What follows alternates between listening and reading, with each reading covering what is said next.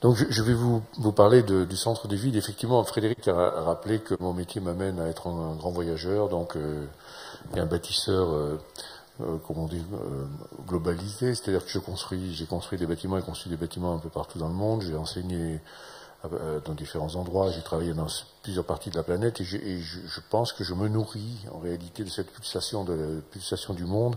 Et la première image que je vous ai mise, c'est celle-ci.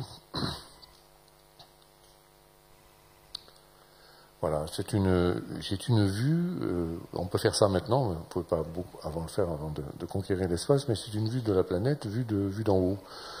Et c'est une vue de nuit parce que euh, je vais d'abord vous parler d'un phénomène mondial qui, qui, me, qui me trouble beaucoup et qui nourrit ma réflexion et mon travail d'ailleurs, qui est, euh, pour reprendre des termes grecs, qui est euh, la crise et le chaos.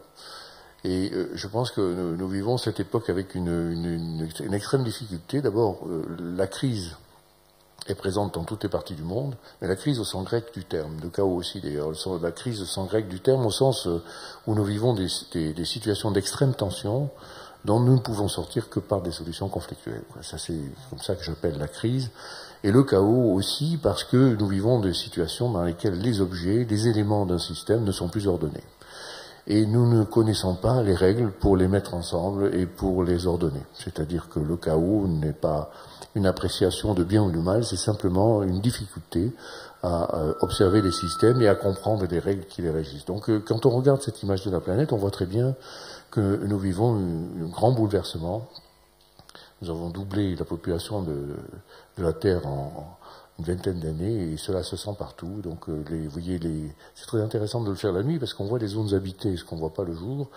Et donc, on voit que les, les habitations, les zones habitées se concentrent dans certaines parties en créant de grands corridors habités. On voit que ces zones habitées se concentrent le long du littoral, en partie. Vous voyez, c'est très clair pour la partie, pour l'Inde, c'est très clair pour la, pour la, pour l'Asie, c'est très clair pour les États-Unis aussi. Des deux côtés, vous voyez, il y a un grand vide au milieu. Pour l'Europe, on voit les grands corridors qui se créent. Et ce dont euh, nous avons à faire, ce à quoi nous avons à faire face, ce sont effectivement des accroissements. Cet accroissement de la population mondiale a des conséquences euh, difficiles sur l'urbanisme que nous devons proposer pour les villes et notamment sur cette question épineuse de la densité sur laquelle je reviendrai.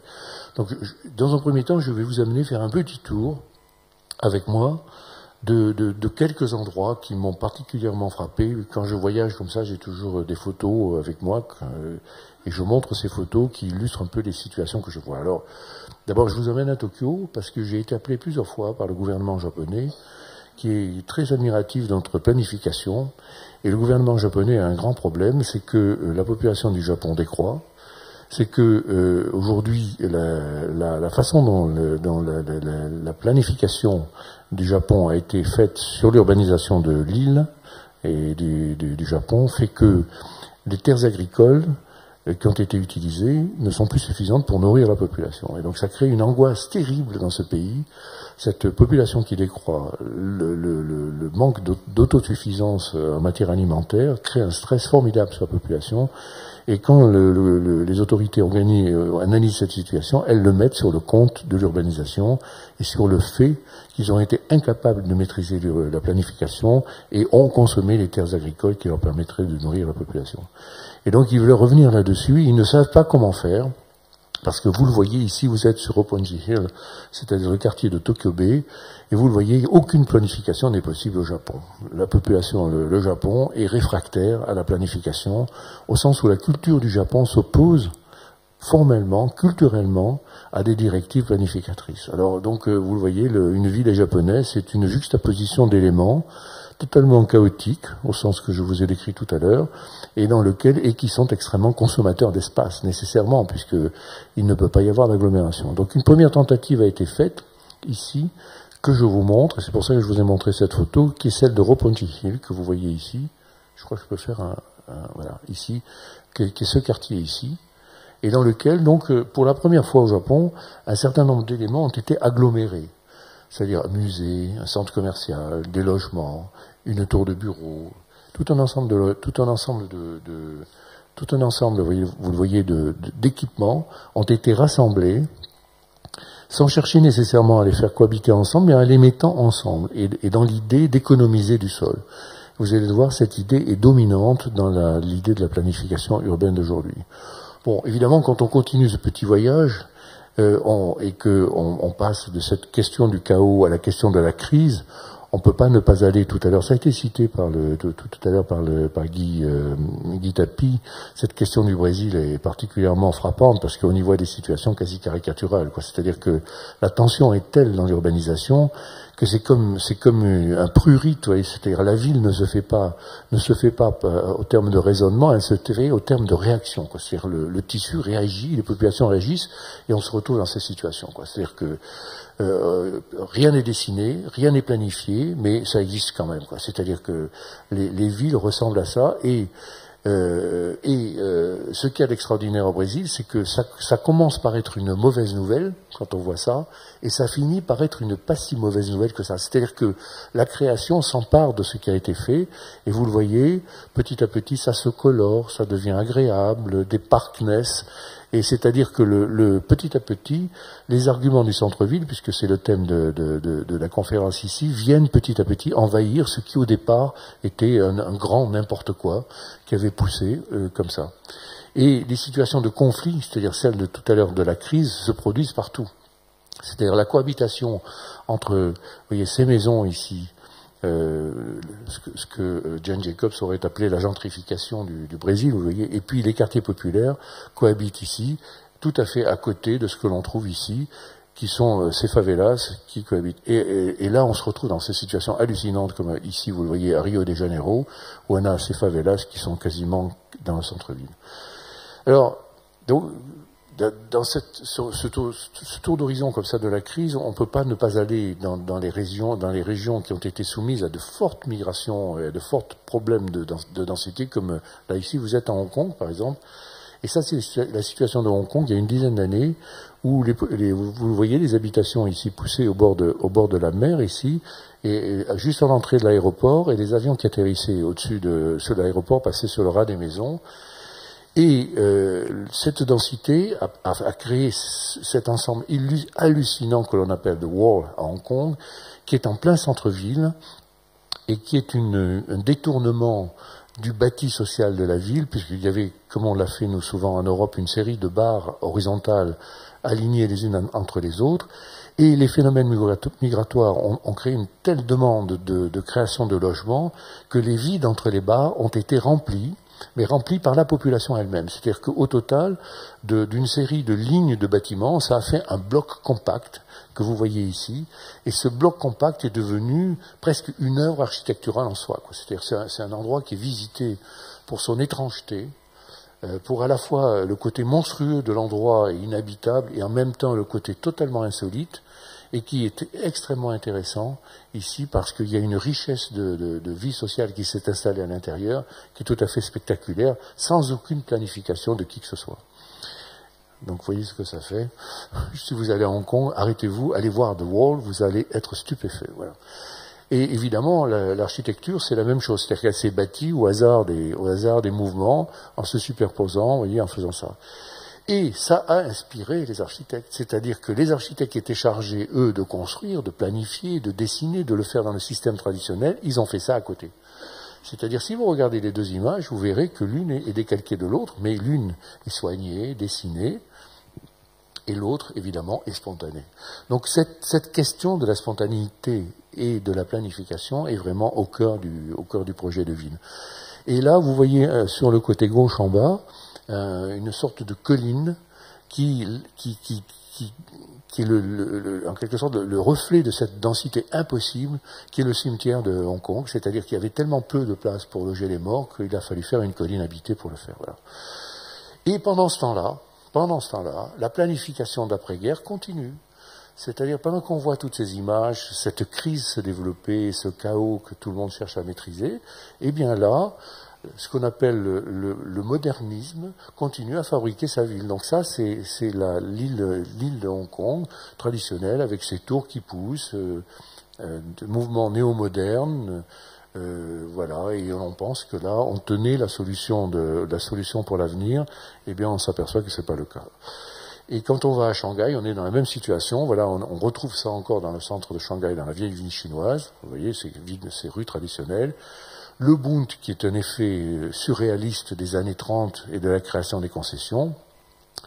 L'effet euh, de, la planification communiste, c'est-à-dire euh, euh, c'est-à-dire logé massivement par des, des, bâtiments répétitifs en plein centre-ville la population, les lits qui ont été entourés par des tours et préservés pendant longtemps, d'ailleurs euh, grâce à l'action des Français d'ailleurs qui, les préservaient, et qui finalement ont été démolis pour être remplacés par des néo-lits vous voyez ici, sur cette écriture moderne. Et là aussi, pendant qu'on fait ça, la planification moderniste continue, c'est-à-dire l'île de Poudong, vous le voyez ici, continue à pousser avec des tours de plus en plus hautes et avec une espèce de triomphe de la modernité qui n'arrive pas donc à créer un centre-ville. Vous voyez, certains jouissent évidemment de cette, de cette façon nouvelle de faire la ville, où l'on peut conquérir l'espace à l'intérieur des bâtiments, avec des formes glorieuses, glittering, comme on dit en anglais, éclatantes. Vous voyez, voilà ce que ça fait. Donc on pensait que là, euh, il y avait une solution pour l'avenir. Le centre-ville se trouvait en quelque sorte prédisposé à devenir quelque chose comme ça, un peu futuriste, et ce qu'on a obtenu, et, vous voyez, euh, avec le rêve qui a été rappelé tout à l'heure des années 60, c'est-à-dire euh, tout automobile, évidemment, avec euh, ces grands nœuds routiers qui sont ceux de l'entrée de la ville, et voilà ce qu'on a obtenu. Et donc, ça marche pas. Donc, ça marche pas. c'est pas comme ça qu'il faut faire. Donc, il y a, y, a, y a une autre façon de regarder le problème. Euh, la pollution qui s'est développée était insoutenable. Euh, voilà ce que ça fait un, jour pas bon. Hein? J'ai pris cette photo à un moment euh, exprès pour que ça soit pas bien, mais quand même c'est vraiment une vraie photo. Donc il y a des jours où c'est comme ça. Et les gens qui se baladent dans la rue sont comme ça. Et ceux qui font du vélo, ils ont un masque sur le nez. Et voilà. Et donc, quand on se promène, on continue notre petit tour. On va revenir tout à l'heure dans, dans nos contrées, mais et là, c'est pareil quand on va à Lagos, par exemple. Voilà ce qu'on voit à Lagos euh, tous les jours. J'ai beaucoup travaillé, j'ai construit des bâtiments euh, en centre-ville, j'ai construit des logements pour la population africaine aussi, euh, de, des, groupes pétroliers à Lagos. Donc voilà ce que je voyais. Hein. Voilà, une, rue, hein. on appelle ça une goslo à Lagos, c'est un, un, va pas vite en français, quoi. Donc, c'est pas que vous n'allez pas vite, c'est que vous n'avancez pas du tout. Donc, et là aussi, les ressources incroyables euh, de la population et de ceux, on l'a vu tout à l'heure dans, The Wall, les ressources incroyables que la population peut déployer pour sortir de la crise euh, sont aussi employées. Et ça, c'est en plein centre de Lagos. Et donc, ce sont des, des quartiers de shantytown qui se créent, mais fondés sur le principe de la récupération. C'est-à-dire que l'idée, c'est qu'on va construire la ville pas à partir de matériaux nouveaux parce qu'on ne peut pas se les payer, mais à partir de matériaux qu'on va trouver sur place et que l'on va recycler pour fabriquer de la ville. Et vous voyez, on est dans cette situation-là, donc on va, on va, on va récupérer des, matériaux et un artiste, euh, un grand, un, architecte que, que j'admire beaucoup parce qu'il fait, il est, il, c'est un Africain d'origine de Lagos, euh, d'origine de Lagos et qui, fait ses, qui fait ces dessins que je vais vous montrer, lui, il commence à suggérer ce que pourrait être une sortie possible de cette crise à partir de ce mouvement de récupération. Il s'appelle Ole Lacan Jeyifus et il a exposé à la Biennale de Shenzhen un projet de centre-ville à partir, reconstruit à partir de matériaux de récupération. Alors, vous voyez, voyez on a l'impression que c'est réel, mais en réalité, ce sont des dessins. Mais voilà ce que ça peut donner. Vous voyez, donc, on, se retrouve dans cette espèce d'entrelac improbable de rues et d'où jaillissent des bâtiments verticaux qui sont faits uniquement à partir de matériaux récupérés. Voilà. Et donc, tout ça est sur la table et, permet d'alimenter. Et pendant ce temps-là, là aussi, les grands urbanistes de, la ville, de la ville, euh, de Lagos, produisent ce plan en disant voilà, euh, la ville de Lagos, dans 20 ans, ça sera comme ça. Donc ils continuent à rêver à partir de cette idée euh, de la fin du XXe siècle, de la fabrication moderniste de la ville, qui en, réalité représente d'une certaine manière un prolongement de la cité radieuse et de, et de, ces grands mouvements où on, on, commence à détruire tout pour essayer de reconstruire quelque chose de neuf à la place.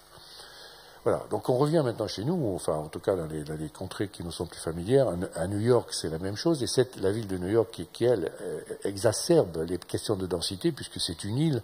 Donc étant une île, on ne peut pas en repousser les limites, et évidemment, quand la population arrive en nombre, on ne peut pas agrandir les terrains pour construire davantage. Alors on a, on a le choix qu'entre deux solutions. Ou bien on monte plus haut, vous savez que c'est ce qui a été fait pour, euh, euh, pour le centre-ville, ou bien on utilise tous les espaces disponibles. Et donc on a commencé par, euh, avant de monter plus haut, par utiliser tous les espaces disponibles. Utiliser tous les espaces disponibles, ça a commencé en bas, et donc c'est un mouvement qui a gagné maintenant toutes les États-Unis, qui, gagne l'Europe, qui gagne nos villes, qui arrive partout, en tout cas dans les, parties métropolisées, comme, métropolitaines, comme ça a été dit tout à l'heure. Et on commence par, euh, par utiliser tous les toitures, les balcons, euh, tout, ce qui est utilisable dans la ville est utilisé, ou bien pour en faire des espaces privés, ou bien pour en faire des espaces collectifs. On se préoccupe du climat. C'est-à-dire qu'on on se rend compte, là aussi, que la manière dont on a fait la ville jusqu'à présent est très néfaste pour l'évolution du climat. C'est-à-dire qu'on accentue les problèmes de tempête, les problèmes problèmes qui, font que les inondations gagnent la ville. Et vous vous en souvenez, à New York, il y a eu cette inondation épouvantable. Et vous voyez, ces photos illustrent bien le côté violent que le, climat peut développer. Mais on continue à faire la ville quand même de la même manière. On monte plus haut, qui est la deuxième solution. Ici, vous voyez les deux tours récentes qui ont été créées. L'une de Frank Gehry, qui est une tour d'habitation, et la tour de, de World Trade Center qui a été construite à côté. Mais on voit bien que ce n'est pas une question de forme architecturale qui règle le problème. On voit bien qu'on peut faire des tours magnifiques. La tour de Franck d'habitation est magnifique. C'est un très beau bâtiment, mais il ne fait qu'en rajouter une tour de plus finalement dans un endroit où il y en a déjà beaucoup. Certains essayent de nouvelles typologies. C'est une façon nouvelle d'écrire le centre-ville et notamment les parties résidentielles. Là, vous voyez la tour qu'ont construite Herzog et de Meuron à Tribeca, c'est-à-dire dans la partie sud de l'île. Et là, de nouvelles typologies sont essayées, avec des balcons, une nouvelle façon d'écrire des logements.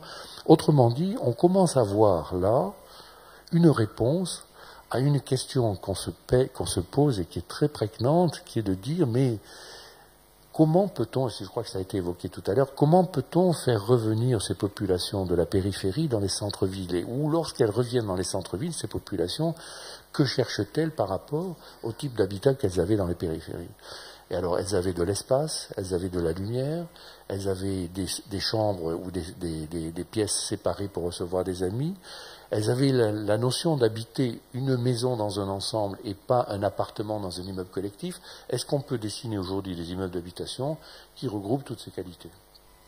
Et pendant qu'on fait ça, on sacralise la nature. Voilà. C'est-à-dire qu'on va vers quelque chose, en réalité, qui est une accentuation de l'intensité des centres-villes, pour faire battre le cœur, pour prendre le thème ici, et en réalité une sacralisation des périphéries des villes.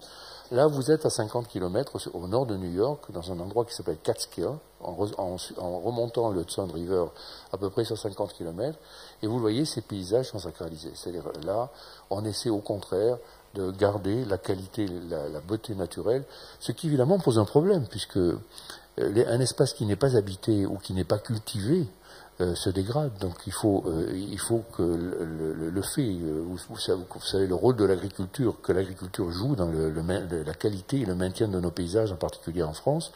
Et donc à partir du moment où on sacralise les, les paysages, on a du mal à les faire exister. Bon, tout, tout, ça, tout, tout, tout est investi. La moindre toiture sert pour faire une fête ou une partie. vous voyez, il y en a partout. Vous regardez partout sur le haut des immeubles il y a du monde partout. On cultive des poireaux, des oignons, des choux, des salades. On forme des associations pour vendre tout ça. Ça, c'est à Brooklyn. On est très content de faire ça. On met même des poules sur le toit parce qu'il y a des fermes qui se créent. Et, et voyez, euh, le centre-ville, en quelque sorte, devient une métaphore de la, partie agricole de la, périphérie. C'est-à-dire qu'on on, on commence à utiliser ça, le centre-ville, pour cultiver et pour consommer. C'est-à-dire ce n'est pas uniquement ludique, c'est aussi pour consommer. Ces légumes sont consommés sur place et ils sont vendus. Et là, je vous ai mis une dernière image pour revenir chez nous, parce que je n'avais pas continué à vous faire voyager comme ça sur la planète éternellement. Donc là, on est à Paris, sur le toit de notre immeuble, de l'agence, et vous voyez, même nous, nous y sommes mis, puisque nous avons fait l'année dernière 80 kilos de miel, dont Frédéric Laine a bénéficié tout à l'heure, puisqu'il a eu 125 grammes de ce miel de l'année dernière, qui, vous le verrez, est très bon. Voilà. Donc, revenons à notre sujet après avoir fait tout ça. Ça donne quand même le ton, je pense, ce petit tour. Ça donne quand même le ton. On ne peut pas regarder uniquement ses pieds. C'est-à-dire qu'il y a un problème global sur cette planète qu'il faut quand même bien regarder avant de se préoccuper de nos propres affaires. Et là, on est à lui. Et c'est beau à lui. 40 000 habitants, regardez ce patrimoine, la cathédrale Sainte-Cécile, euh, l'archevêché, les bords du Tarn, une ville classée au patrimoine mondial, c'est vraiment que, quoi rêver de mieux, quoi. Une vie paisible. Voilà, et eh ben, ça fait la première page du New York Times l'année dernière. Voilà, ça s'appelait alors que les, les, villes de France chancellent, des craintes de déclin du mode de vie à la française. Voilà, ça c'est la première page du New York Times. C'est Adam Nosseter, qui est un des grands journalistes du New York Times, qui écrivait Vous, les Français, qu'avez-vous fait de vos villes moyennes? Et ce n'était pas une question gentille. C'est-à-dire, euh, qu'avez-vous fait au sens où regardez une ville d'Albi, de cette ville aussi belle, une petite dame misérable qui traîne un chariot avec dans des rues désertes et avec des rideaux de commerce baissés. Et donc il nous pose cette question en disant mais pourquoi avez-vous laissé décliner à ce point vos villes, moyennes, Et alors, euh, évidemment, moi je ne peux pas répondre à cette question ce soir, mais vous vous en doutez, mais je vous pose la question, je, nous pose la question, et je vais essayer de, donner quelques éléments de réponse, en tout cas qui tournent autour du travail que je fais.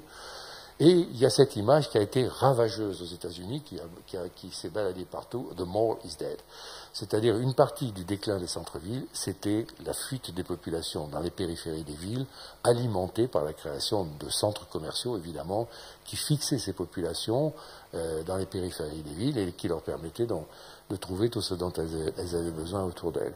Et aujourd'hui, je crois, je ne pourrais pas vous dire une bêtise, mais je crois que c'est plus de 60 malls aux États-Unis qui ferment par mois, quelque chose comme ça. C'est-à-dire que le, ce grand mouvement de la création du, du centre commercial de périphérie aux États-Unis, qui a, qui a, influencé le monde entier, y compris la France évidemment, euh, euh, est en train de faire machine arrière. Et, euh, et la, la, la, question qui nous est posée, c'est que nous, qu'est-ce que nous répondons à cette question?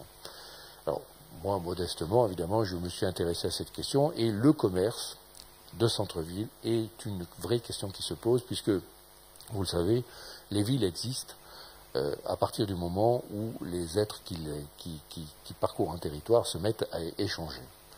Alors, ils peuvent commencer par échanger des biens culturels, ils peuvent commencer par échanger simplement des paroles ou des propos ou des idées, euh, mais aussi ils peuvent commencer, ils peuvent continuer par échanger des biens marchands. Et quand ils échangent, quand ils commencent à avoir, fait tout ce chemin et, qu'ils échangent des biens marchands, le commerce s'installe. Et lorsque le commerce s'installe et que le commerce fructifie, alors à ce moment-là, la ville prospère. C'est-à-dire qu'on ne connaît aucune ville au monde qui n'ait pas commencé par les échanges. Et lorsque les échanges prospèrent, la ville commence. Et donc là, une question m'était posée par Gérard Collomb à Lyon, qui me disait, j'ai ce territoire de confluence, là, euh, il n'y a personne, c'était un marché-gare, euh, ça, fait, euh, ça fait 70 hectares. C'est à 500 mètres de la place Bellecour, c'est en plein centre de la ville, et c'est désert, personne n'y va jamais, c'est une zone complètement abandonnée. Comment peut-on faire pour relancer ça? Alors Raymond Barre avait commencé avant lui, et il, s'est mis dans, dans, les pas de Raymond Barre pour continuer ce projet, et il a voulu lancer un premier bâtiment qui serait générateur de flux. Il appelait ça le moteur de confluence. C'est-à-dire qu'il faut quelque part des moteurs pour relancer l'activité des centres-villes. Et donc, euh, ce moteur, ça a été non pas un centre commercial, vous le voyez ici, ce bâtiment, vous voyez, c'est ceci là, vous voyez. Et imaginez ce bâtiment que j'ai, dessiné il y, a, il y, a, maintenant presque huit ans, à un moment où rien n'existait autour. C'est-à-dire que tout ce que vous voyez là autour, tout ce paysage, tout ça, rien n'existait de tout cela. Et ce bâtiment, qui est un bâtiment, alors les gens me disent ton bâtiment, il ressemble à n'importe quoi. je dis oui, c'est exactement ça. C'est-à-dire que c'est pas un centre commercial, il y a un hôtel dedans, c'est pas un hôtel, il y a des bureaux, c'est pas un bureau, il y a des cinémas, c'est pas un cinéma, il y a des restaurants, mais on les voit pas. Euh, c'est-à-dire que c'est un bâtiment qui est une sorte de pari d'avoir aggloméré des fonctions qui contribuent à faire vivre un centre-ville que l'on ensemble dans un espace réduit en considérant qu'on a peu de terrain. Moi, j'ai utilisé 2 hectares pour mettre 120 000 mètres carrés. Donc, vous imaginez la densité que ça représente dans le centre-ville. Et donc, parce qu'on n'a pas beaucoup de terrain, et on fait le pari que ce bâtiment va être un générateur de centre, c'est-à-dire qu'il va permettre au centre de démarrer, d'abord parce qu'il va apporter du flux. Et là, aujourd'hui, ce bâtiment reçoit 12 millions de visiteurs par an. Parce qu'il va apporter de la prospérité. Aujourd'hui, il fait 400 millions de chiffres d'affaires, d'euros, qui seront pour le bénéfice de la population. Parce qu'il va développer la mobilité. Aujourd'hui, 70% des visiteurs de ce centre commercial arrivent par les transports en commun, c'est-à-dire on a réussi à maîtriser cette malédiction de la voiture pour, pour accéder au, centre commercial. Les gens arrivent en tramway, un tramway qui passe derrière, ils arrivent en train, ils arrivent en bateau. Il y a une navette fluviale qui a été installée, qui parcourt toute la ville et qui amène place Bellecour. Ils viennent à pied, ou ils viennent, certains viennent en voiture, mais peu d'entre eux. Et donc ce bâtiment a véritablement été, vous, le voyez, un moteur de vie. Il a déclenché la création de 3000 logements qui sont construits maintenant, avec les plus grands promoteurs et investisseurs français qui sont venus, attirés par le succès du bâtiment. La région a voulu faire un geste politique en disant ce centre, ce territoire qui était abandonné va devenir le siège du, conseil régional. Et vous voyez, Christian de Park a construit ici ce bâtiment que vous voyez émerger, qui est le conseil régional et ainsi de suite. Et aujourd'hui, Herzog et Demeron sont en train de développer des macro-lots de l'autre côté ici pour continuer le quartier qui va devenir un véritable quartier central de Lyon euh, complètement renouvelé. Et je voulais montrer cette photo. Voilà. Là, vous voyez euh, ce, que, euh, ce une nouvelle urbanité de centre-ville peut devenir. Voyez, voyez ce bâtiment ici, là, vous voyez les terrasses sur lesquelles il y a les restaurants, vous voyez le cinéma au bon qui dépasse, vous voyez la ligne de chemin de fer ici Lyon-Clermont-Ferrand qui traverse le bâtiment en plein milieu.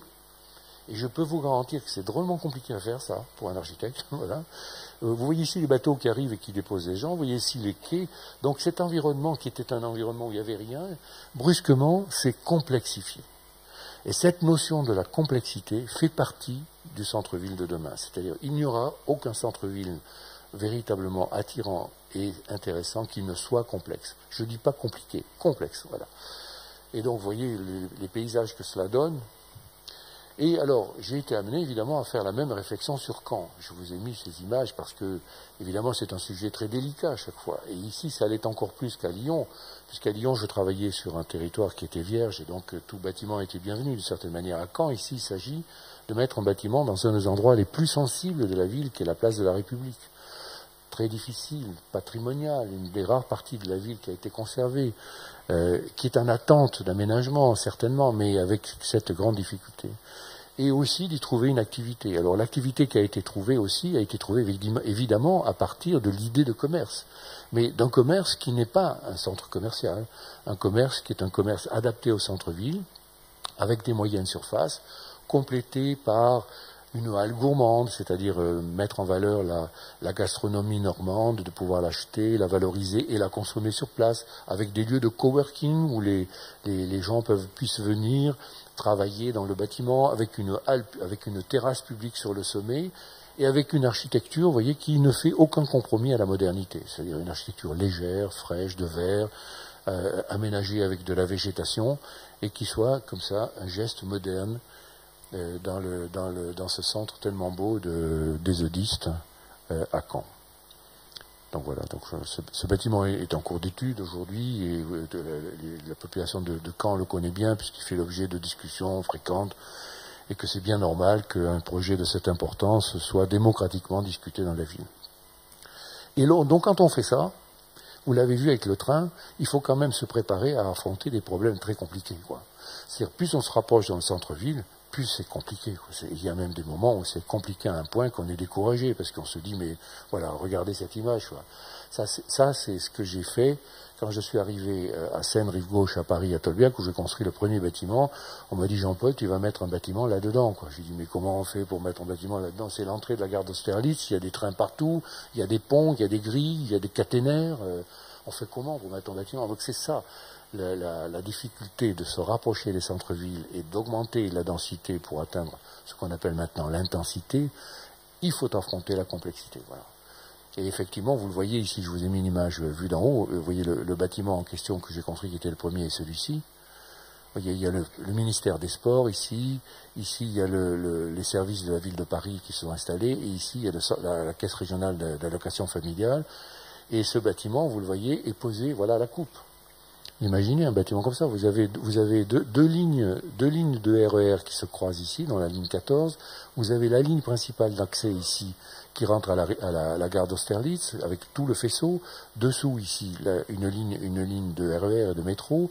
Une, une, une, zone de parking ici. Et finalement, ici, une dalle à partir de laquelle on peut construire, avec des contraintes phénoménales qui sont liées au trafic ferroviaire, etc. Voilà. Et quand c'est fini, non seulement il faut que ça marche, c'est-à-dire que toutes ces fonctions euh, fluidement arrivent à interagir les unes avec les autres, à créer véritablement ce qu'on aime dans les centres-villes, c'est-à-dire cette activité du centre, cette fébrilité, cette excitation permanente qu'on a dans les centres-villes. Il faut trouver tout ça, mais il faut retrouver aussi la facilité, la complexité. Il faut que cette complexité disparaisse. C'est-à-dire là, vous voyez, on voit plus les trains, on voit plus les parkings, on voit plus les poteaux. On a un joli bâtiment dans le soleil du soir qui est posé sur l'avenue de France. Donc il faut arriver à faire ça. Et donc, à partir du moment où on s'est exercé sur cette euh, question de la complexité, on peut faire un pas de plus. Et là, euh, vous êtes à Metz ici, et euh, avec des investisseurs, donc la, ville de Metz voulait aménager le quartier d'amphithéâtre et créer un nouveau quartier, donc à l'échelle de 120 000 m2, sur un terrain de 4 hectares, donc tout petit. Et donc il fallait, il fallait renouer avec les, efforts de densité que nous avions fait à Lyon pour arriver à faire ça.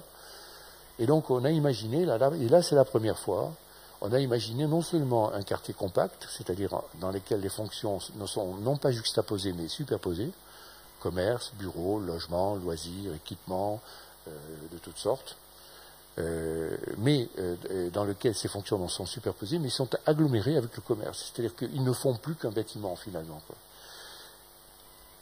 Et je vous ai mis cette image pour vous montrer que donc pour s'engager dans une aventure pareille, on a mis quatre ans pour sortir ce, pour sortir ce projet après avoir, eu un échec dans la première partie, parce qu'il faut trouver aussi des investisseurs qui vous suivent euh, sur un projet pareil, les difficultés que vous avez à affronter, parce que comme vous superposez les fonctions, euh, les pompiers ne sont pas contents, donc euh, il, faut, arriver à trouver des solutions pour la sécurité, pour tous les problèmes.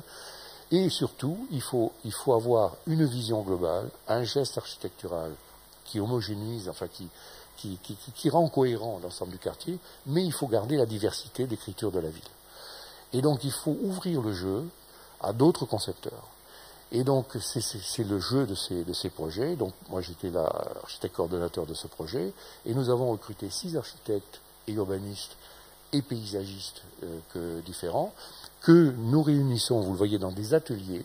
Donc on travaille en atelier et euh, on fabrique, euh, et la maquette est un peu le point de fixation de ce travail. Chacun arrive avec sa maquette, la pose dans une maquette générale, et petit à petit, nous avons mis un an pour arriver à fabriquer le quartier, petit à petit, par des contributions successives et des, et des comparaisons entre les contributions des uns et des autres, on arrive à trouver la cohérence que l'on cherche au début et à fabriquer un quartier en, une, en un seul fois et en un seul geste. C'est construit, c'est construit, vous pouvez le voir. C'est sur la gare, donc c'est ce qu'on appelle un projet de centre-ville, puisque c'est sur la gare de, Metz. C'est contre le centre Pompidou que vous voyez, euh, vous voyez pointé ici, là, sur le côté. Voilà. Et ça, donc, vous voyez, dans cette image, vous voyez ici des logements locatifs.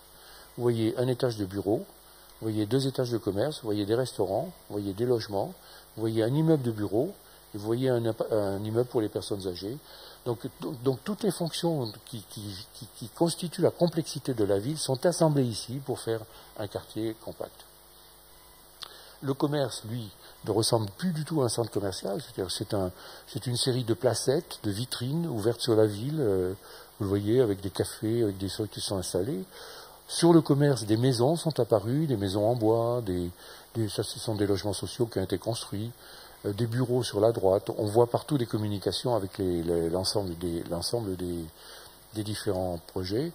Et je vous ai mis cette photo pour que vous puissiez vous faire une idée de l'avant et de l'après. C'est-à-dire que cette partie de Metz, vous le voyez, a été construite avec la méthode que nous pratiquons toujours, c'est-à-dire un terrain, un immeuble, un terrain, un immeuble. Donc vous voyez ici un immeuble sur un terrain, un autre immeuble sur un terrain, un troisième immeuble sur un terrain, et ainsi de suite. Donc voilà le, résultat que cela donne. Et ici, vous voyez la, méthode que j'avais proposée ici de, ville compacte et superposée. Donc vous voyez ici des commerces, des bureaux, des bureaux, des logements. Donc le, modèle, le modèle s'est complexifié et densifié et je l'espère, euh, est devenu plus intense. Donc ça, c'est une, dimension supplémentaire du centre-ville que, je mets sur la table, c'est-à-dire la complexité et l'intensité. Dernière dimension que je voulais mettre sur la, table avant de vous montrer le, projet le plus grand qui est actuellement sur les tables à l'agence et, qui rassemble en réalité toutes ces, notions, c'est que nous devons réparer les centres-villes. C'est-à-dire que nous avons euh, un travail de alors certains appellent ça de la couture urbaine, il y a eu toutes sortes de, mots pour qualifier ça, mais alors qu'à un certain moment, et je l'ai fait moi-même puisque j'ai participé à ce qu'on appelait des constructions de ZAC, j'ai construit par exemple à, Paris une très grande ZAC qui est la ZAC duplex dans laquelle il y, avait 1200 logements à, 300 mètres de la tour Eiffel euh, sur l'avenue de Suffren, on a construit 1200 logements et on a commencé par détruire la totalité du bloc avant de construire. On appelait ça la tabula rasa. Aujourd'hui, il n'est plus question d'aborder euh, un projet de centre-ville en commençant par démolir ce qu'il y a. C'est-à-dire qu'aujourd'hui, nous réparons, c'est-à-dire nous prolongeons, nous agrandissons, nous surélevons, c'est-à-dire nous faisons toutes ces choses-là. Nous réparons, mais nous ne démolissons, nous, ne commençons pas par nettoyer complètement les territoires centraux parce qu'ils ont une valeur patrimoniale inestimable. Et cette valeur patrimoniale inestimable est le socle sur lequel on peut rebondir pour aller plus loin et construire le projet suivant. Et ça, aujourd'hui, je crois que c'est une idée assez unanimement partagée par les architectes, euh, en tout cas ceux que je fréquente, et, euh, ça a été la, question qui était posée à Montpellier. Montpellier, vous voyez ici cette image qui est très spectaculaire. Vous voyez ici le projet, le projet qu'a fait Ricardo Boisfil à l'époque de M. Fraîche. Vous voyez ici ce quartier que l'on appelle Antigone, qui est si puissant dans sa forme euh, et dans son concept en même temps. Et ici, vous voyez la vieille ville de Montpellier avec la célèbre place de la Comédie, le théâtre. Et entre ce quartier euh, de l'Écusson et ce quartier ancien de la ville ici et Antigone, se trouve cet immense bâtiment ici, qui est un centre commercial construit en 1970, appelé Polygone. Et ce centre commercial est insupportable. Insupportable. Il a tous les défauts euh, aujourd'hui de ce que l'on peut, tout ce qu'on peut reprocher à un centre commercial, euh, ce polygone-là. Et euh, a bien senti ça. Et qu'est-ce qu'il a fait, Beaufil Il a construit un premier bâtiment dont il a mis le dos contre le centre commercial. Autrement dit, quand vous êtes sur la place de la Comédie aujourd'hui et que vous voulez aller dans Antigone, vous ne pouvez pas passer. C'est-à-dire qu'il a divisé la ville en deux, il a coupé la ville en deux par un bâtiment en faisant d'un côté la ville nouvelle avec Antigone et de l'autre côté la ville ancienne avec le polygone. Et ça, c'est dramatique pour la ville. C'est-à-dire, c'est pathétique. ça a tué le centre-ville de Montpellier. Comment peut-on imaginer une ville dans laquelle les deux parties ne communiquent pas C'est impensable. Et donc, le projet que je suis en train de faire à Montpellier commence par réparer ça. C'est-à-dire par créer non plus un mail comme avant, de mall is dead, mais par, par remplacer le mall par une rue couverte, ouverte et couverte, et qui, qui communique de côtés d'une part avec la place de la comédie d'un côté et d'autre part avec Antigone de l'autre. Et qui sera à terme étendu par un projet comme celui que je vous ai montré à Metz, c'est-à-dire qui deviendra un endroit dans lequel il y aura une tour mixte avec des bureaux, un hôtel, des logements, des logements ici, un groupe de cinéma, des loisirs, des restaurants, des cafés, une terrasse et, tout un ensemble de, bâtiments qui vont constituer, donc vous le voyez ici, un, nouveau centre de la ville qui permet de traverser avec des projets très emblématiques. Voilà, le maire est très content de ça. Voilà. Et pour terminer, je, vous montre ça parce que c'est vraiment le, avant de, vous l'aurez remarqué, j'ai inversé la proposition que m'avait faite Frédéric. Frédéric m'avait dit tu parles d'abord de tes projets et ensuite tu théorises. Donc j'ai plutôt théorisé d'abord et je vous montre enfin mes projets parce que je pense qu'il vaut mieux d'abord, euh, comment dire, fonder quand même une posture et puis après montrer comment on l'applique dans les projets. Donc j'ai fait ça. Et là, nous sommes à Bruxelles et on est dans la même situation. Vous voyez, c'est tout à l'heure on a parlé de l'atomium, j'ai entendu ça dans le dans le, la publicité sur le Thalys. Ben l'atomium, il est là, vous le voyez là. Et ce qu'il y a aujourd'hui autour de l'atomium, ben c'est ça quoi. Crise et chaos. Je vous l'ai dit tout à l'heure pour commencer. Voyez, crise parce que euh, on ne peut pas en sortir, on ne sait pas quoi faire. Et chaos parce que c'est mis n'importe comment, en cours du temps, sans aucune idée, ça ne veut rien dire. En plus, c'est très vieillissant. Ici, il y a un Marthe euh, du cadeau qui ne marche plus. Euh, ici, il y a un, cinéma qui a été récupéré à partir des parkings de l'exposition universelle qui ont été transformés. Un stade du Ezel ici, de triste mémoire, et qui n'est même plus adapté pour faire des opérations, des, des, des, matchs internationaux parce qu'il ne correspond plus aux normes. Enfin, il n'y a que des mauvaises nouvelles sur ce territoire. Quoi.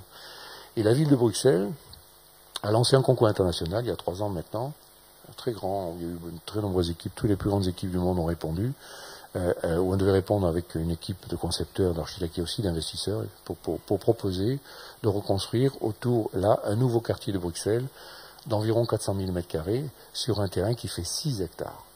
C'est-à-dire, tout le monde avait dit c'est pas possible. On n'y arrivera pas à construire une quantité aussi grande de surface euh, et de complexité urbaine sur un terrain aussi petit. Ben, C'était ça qu'on a fait.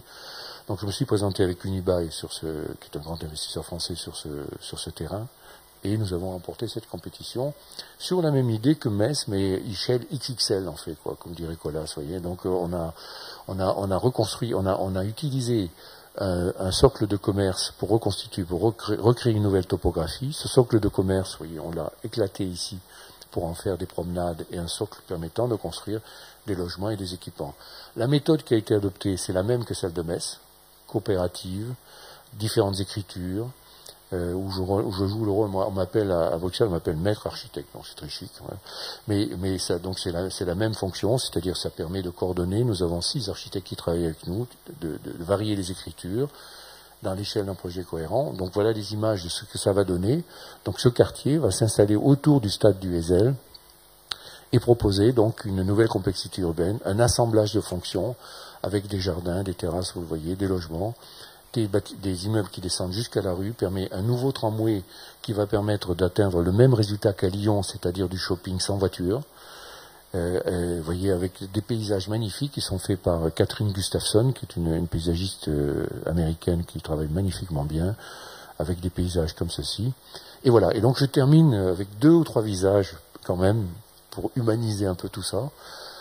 Le premier, c'est ce visage incroyable. Je ne sais pas si vous la reconnaissez, c'est Jane Jacobs.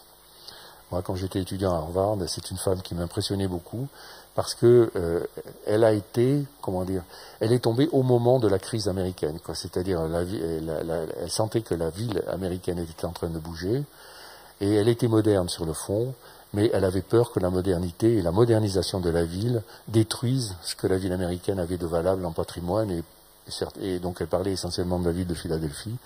Et donc Jane a été euh, à la fois euh, un, frein et un accélérateur à ce mouvement.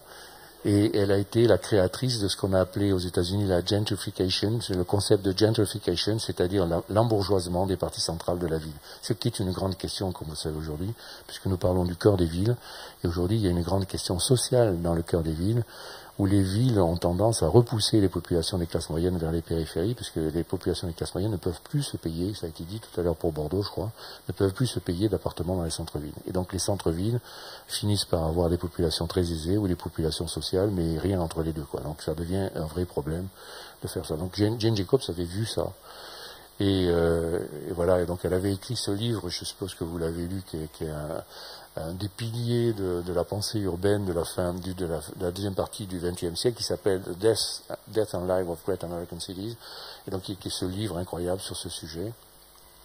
Je vous ai mis le deuxième, deuxième personnage qui a été mon professeur, euh, que j'ai admiré euh, d'une manière extraordinaire au MIT, qui s'appelle Kevin Lynch, et qui lui a donné une autre vision du centre-ville en disant le centre-ville est un lieu de jouissance et de bonheur à partir du moment où le stress disparaît. Et le centre-ville est par nature un endroit stressant si l'on n'arrive pas à s'y reconnaître, à s'y repérer, à trouver ses propres repères. Et donc il a analysé la ville, vous le voyez, et il a dit que dans la ville, il devait y avoir un certain nombre d'éléments qui permettaient d'apaiser ce stress. Alors il les a un peu caricaturés, il y a path, mode, landmark, edge district, on pourrait dire le chemin, l'assemblage, le, nœud, le, landmark, c'est un signal, les franges et le quartier. Et donc il a procédé à des analyses de ville, vous voyez, moi j'ai fait des études pour lui à cette époque-là, où, euh, on interroge la population en, essayant de, faire que la population se reconnaisse dans la ville, l'identité du centre-ville. C'est-à-dire qu'on repère ses propres... et quand vous comparez les descriptions des, habitants les unes avec les autres, chacun a sa propre lecture du centre-ville et sa propre appropriation du centre-ville. C'est une expérience extraordinaire qu'a faite Kevin Lynch et un apport considérable à la théorie urbaine. Et le dernier, il fallait qu'il soit français, comme euh, Paul Virillo vient de mourir. je vous l'ai mis parce qu'il a beaucoup influencé évidemment la réflexion sur les villes et le centre-ville à cause de son concept de vitesse. C'est-à-dire qu'en apportant l'idée de vitesse et d'espace dans la réflexion urbaine, il a introduit la notion de transformation. Puisque la transformation, finalement, c'est une accélération de l'état dans lequel se trouve la ville. C'est-à-dire à partir du moment où vous arrivez à faire aller les choses plus vite, vous transformez ce que vous touchez. Et la transformation est porteuse de progrès et porteuse, et porteuse d'avenir pour les centres-villes. C'est-à-dire un centre-ville qui ne se transforme pas décline. Et c'est pour ça que je suis maintenant, ça a été rappelé par Frédéric tout à l'heure, que je soutiens aussi fort l'idée de mettre des bâtiments contemporains et modernes dans les centres-villes patrimoniaux. Contrairement à ce qu'on pourrait penser, c'est-à-dire quand on voit la beauté de certaines parties de certains centres-villes, on dit ne touchez plus, laissez ça tranquille, ne touchez plus à rien. Si vous faites ça, si vous n'utilisez pas le centre-ville décline, il faut toujours que les centres-villes, y compris les parties patrimoniales, soient en mouvement et qu'elles se transforment, qu'elles s'agrandissent, qu'elles se modernisent, qu'elles acceptent de nouveaux éléments. À partir du moment où ce phénomène cesse, le centre-ville décline. Alors évidemment, il faut le faire avec et beaucoup de prudence, avec beaucoup de soins, avec beaucoup. Il faut être et il faut avoir des pensées très éclairées sur ces sujets, mais il faut le faire absolument. Et Paul Virilio, avec ses concepts de vitesse, donc, a permis que de nous faire accéder à cette question. vous le voyez, penser la vitesse. Voilà. Et la dernière image, c'est celle que Frédéric a suggérée à propos de la vie des centres. Euh, on a mis, tout à l'heure, vous l'avez vu, j'ai mis The Mall is dead. Et j'aurais pu mettre aussi Planning is dead. Land use is dead. C'est-à-dire que les arguments, les outils que nous avons utilisés jusqu'à présent pour planifier la ville, et notamment les zonings, certains plans d'urbanisme fondés sur le zoning, ne marchent plus. Et aujourd'hui, la lecture que nous avons et la manière dont nous abordons les centres-villes est une autre façon de faire le centre-ville. Polycentrisme, plusieurs centres, effacement de, de la, de la, de la ville euh, unicentre, comme Paris par exemple, qui est radio, le radioconcentrisme de Paris est fascinant. Donc, vous voyez, quand on, quand on relit le plan de Paris, c'est un dessin que j'ai fait à partir du tracé du Grand Paris Express et à partir de la recomposition des quartiers, on obtient ce plan dans lequel on ne, on ne lit plus le plan traditionnel de Paris. Et aujourd'hui, quand vous interrogez un Parisien, vous lui dites euh, de quel arrondissement vous êtes vous? Il dit mais moi je suis pas d'un arrondissement, moi je suis, moi j'habite Belleville, euh, j'habite à Nation, euh, j'habite à Grenelle. C'est-à-dire cette division administrative, cette construction administrative de la ville qui date de la période haussmanienne euh, et même napoléonienne pour une grande partie, Napoléon Ier pour une grande partie, est aujourd'hui complètement obsolète au profit d'une autre lecture plus identitaire des lieux et plus orientée sur le polycentrisme de la ville.